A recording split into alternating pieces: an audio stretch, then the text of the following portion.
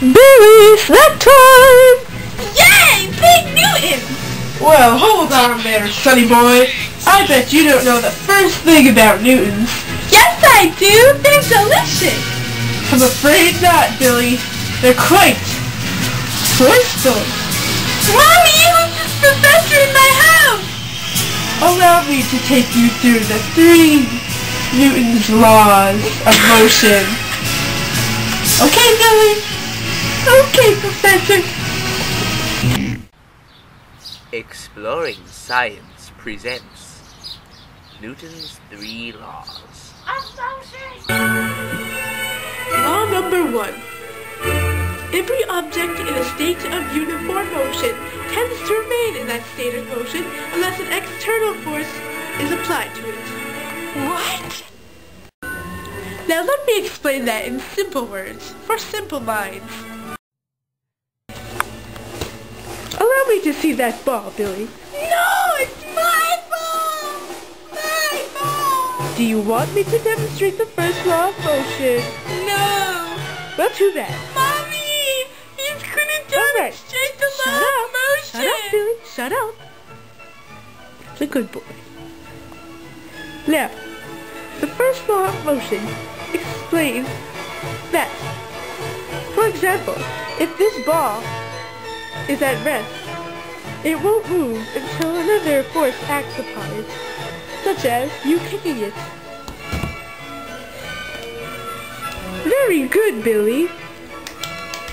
Also, if the ball is moving, it won't stop until a force acts upon it. Such as that other ball over there. Do you understand now, Billy? Yes, Professor! Mommy, he's pushing me! But Billy, I'm just trying to demonstrate to you the second law of motion. What is that, Professor? Well, you see, when I push you lightly, you barely go anywhere. Uh-huh.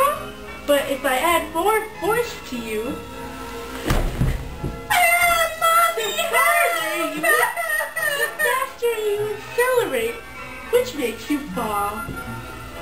I need a feather! Allow me to demonstrate Newton's third law nice new roller skates I got you. When I push you, we both move. We're supposed to move. See? There you go. I hope you like your new roller skates, Billy. My treat. Of course, Professor! Well, Billy, those are the three Newton's laws of motion. Did you have fun today? No. Well, did you learn anything today? No. Can I have my Fig Newton now? No, but you can have a lemon. Okay. You didn't let me explain. You can have a lemon because lifting a small lemon is equal to about one Newton. Okay, Professor. Good boy, Billy. Billy! Was there a professor in this house talking to you about Isaac Newton's three laws of motion? Yeah, Mommy. Well, I'm going to call the police in case he's still in the house. I think you left, Mom. Oh. Well, today my mom got a demented haircut that looks like Christine's haircut from fifth grade and is really puffy, and I think like a bird can like a nest in it. You know, it's not a good thing when you get an electrical cord laid on your lap. And you know what? I do plenty of work in this house, so shut up!